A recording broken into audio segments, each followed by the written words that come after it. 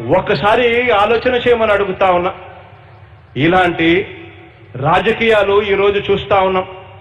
ఇటువంటి వ్యక్తి ఎన్ని వెన్నుపోట్లు పొడిచినా కూడా ఈ వ్యక్తి గురించి వ్యతిరేకంగా ఈనాడు రాయదు. ఆంధ్రజ్యోతి చెప్పదు. టీవీ ఫైవ్ చూపదు. దత్తపుత్రుడు అంతకన్నా ప్రశ్నించడు.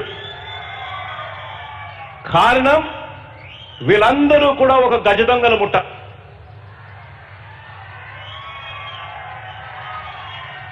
అప్పట్లో జరిగిన ఏకైక స్కీమ్ ఏమిటో తెలుసా? బటన్లు అప్పట్లో లేవు. నొక్కే పరిస్థితి లేదు. ప్రజలందరికీ మంచి చేసే పరిస్థితి లేదు. అప్పట్లో ఉన్నది ఒకే ఒక్క స్కీమ్. ఆ స్కీమ్ దోచుకో పంచుకో తినుకో.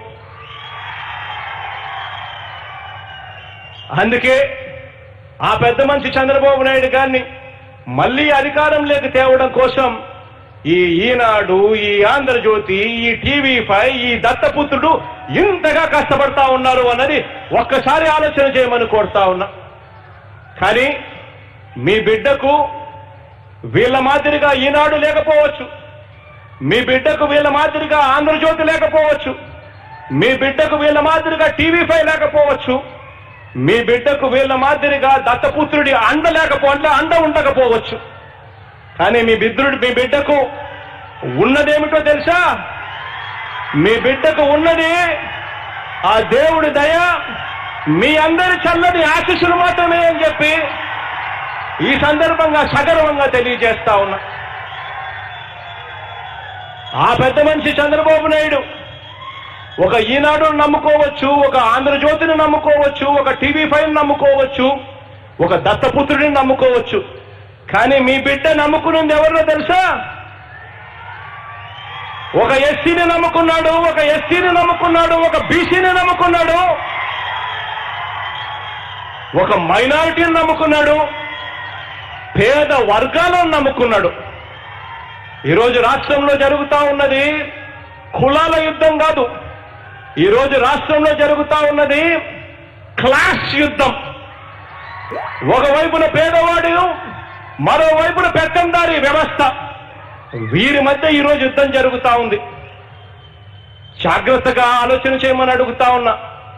పొరపాటు జరిగిందేనంటే పేదవాడు నాశనం అయిపోతాడు అన్నది ఎప్పుడు కూడా మర్చిపోవద్దండి అని చెప్పి నేను ఈ సందర్భంగా సవినయంగా తెలియచేస్తా ఉన్నాను.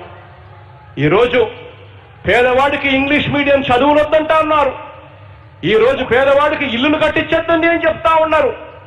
ఈ రోజు పేదవాడికి మంచి చేస్తే రాష్ట్రం శ్రీలంక అయిపోతుంది అని చెప్పి చెప్తా ఉన్నారు. ఇటువంటి పేదవాడికి వ్యతిరేకమైన శక్తులతో ఈరోజు మీ బిడ్డ పోరాటం చేస్తా ఉన్నాడు. ఈ పోరాటంలో మీ అందరి చల్లని దీవెనలు మీ అందరి చల్లని ఆశస్సులు దేవుడి దయ మీ బిడ్డ పట్ల ఎప్పుడూ ఉండాలని కోరుతూ ఇంకా దేవుడు దయతో ఇంకా మంచి చేసే అవకాశం దేవుడు ఇవ్వాలి అని మనసారా కూడా ఆకాంక్షిస్తూ మీ అందరికీ కూడా మంచి జరగాలి అని చెప్పి కోరుకుంటూ చిక్కటి చిరునవ్వులతో ఆప్యాయతలు చూపిస్తా ఉన్నందుకు మరొక్కసారి ప్రతి అక్కకు ప్రతి చెల్లెమ్మకు ప్రతి అవ్వకు ప్రతి తాతకు ప్రతి సోదరుడికి స్నేహితుడికి మనస్ఫూర్తిగా చేతులు జోడించి పేరు పేరు నా హృదయపూర్వకంగా కృతజ్ఞత తెలుపుకుంటూ సెలవు తీసుకుంటా ఉన్నాను.